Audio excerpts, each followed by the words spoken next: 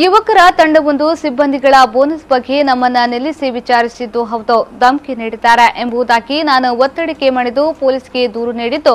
ಅದನ್ನ ವಾಪಸ್ ಪಡೆಯುವುದಾಗಿ ಪಡುಬಿದ್ರಿ ಠಾಣೆಗೆ ಯುಪಿಸಿಎಲ್ ಗುತ್ತಿಗೆ ಆಧಾರ company Power Mech site engineer G. ಪೆಂಚೇಲ್ ಪಾಠ್ಯ ಠಾಣೆಗೆ ಲಿಖಿತ ಅರ್ಜಿಯನ್ನ ನೀಡಿದ್ದಾರೆ.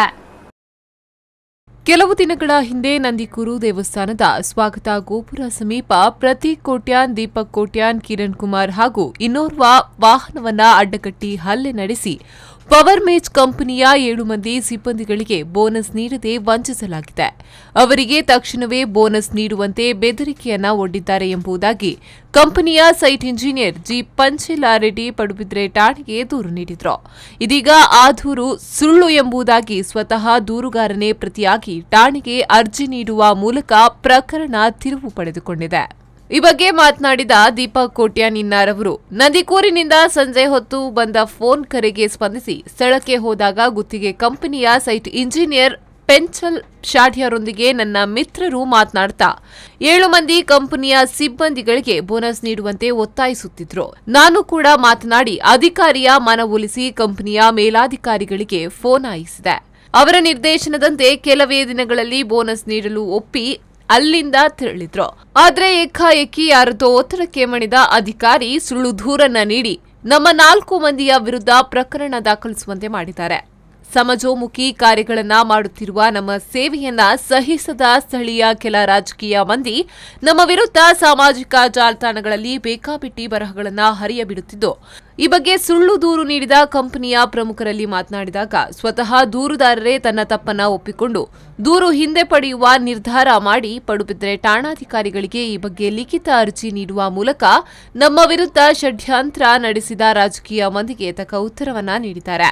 ಇದರಿಂದ ನಮಗೆ ಮತ್ತಷ್ಟು ಸಮಾಜ ಸೇವೆ ನಡೆಸಲು ಪ್ರೇರಣೆ ದೊರೆತಂತಾಗಿದೆ. ಸಾಮಾಜಿಕ ತಾಣಗಳಲ್ಲಿ ಮಾನಹಾನಿ ಬರಹ ಹರಿಯಬಿಟ್ಟವರ ವಿರುದ್ಧ ಸೈಬರ್ ಕ್ರೈಮ್ಗೆ ದೂರು ನೀಡಿರುವುದಾಗಿ ದೀಪಕ್ ಕೋಟ್ಯಾನ್ ತಿಳಿಸಿದರು.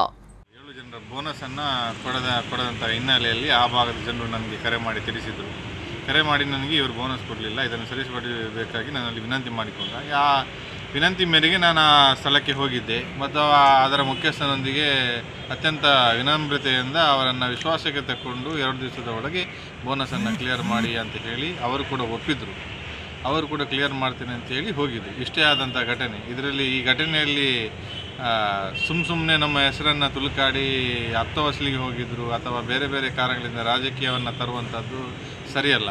ಮತ್ತು ನಾವು ಯಾವತ್ತೂ ಕೂಡ ಜನರೊಂದಿಗೆ ಇದ್ದೇವೆ ಜನರಿಗೆ ತೊಂದರೆ ಆದಾಗ ನಮ್ಮ ಮೇಲೆ ನೂರು ಕೇಸ್ ಕೂಡ ಆಗಲಿ ನಾವು ನ್ಯಾಯಯುತವಾಗಿ ಏನಾದರೂ ಜನರು ನಮ್ಮ ತೆ- ನಮ್ಮ ಮುಂದೆ ಬಂದು ಏನಾದರೂ ಅವರ ಇದನ್ನು ಹೇಳಿಕೊಂಡಾಗ ನಾವು ಖಂಡಿತವಾಗಿ ಅದಕ್ಕೆ ಸ್ಪಂದಿಸುವಂಥದ್ದು ನಾವು ಕೂಡ ಒಂದು ಜನಪ್ರತಿನಿಧಿಗಳು ಆದ್ದರಿಂದ ಖಂಡಿತ ಮುಂದಿನ ದಿನಗಳಲ್ಲಿ ಇಂಥ ಸುಳ್ಳು ಕೇಸುಗಳು ಸಾವಿರ ಆಗಲಿ ಆದರೂ ಕೂಡ ನಾವು ಜನರೊಂದಿಗೆ ಏನು ಅವರ ಸಮಸ್ಯೆಗೆ ಏನು ಮುಂದೆ ಕೂಡ ಇರ್ತೇವೆ ಅನ್ನೋ ಏನೋ वो हमारा पर बहुत प्रेशर था इसलिए हुआ है जो भी है उसको, उसके लिए हमने अभी केस वापस कर रहा है।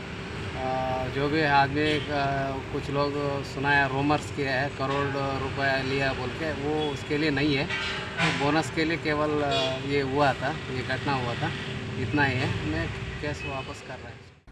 Suresh Sharma V four news twenty four seven पडुभित्रा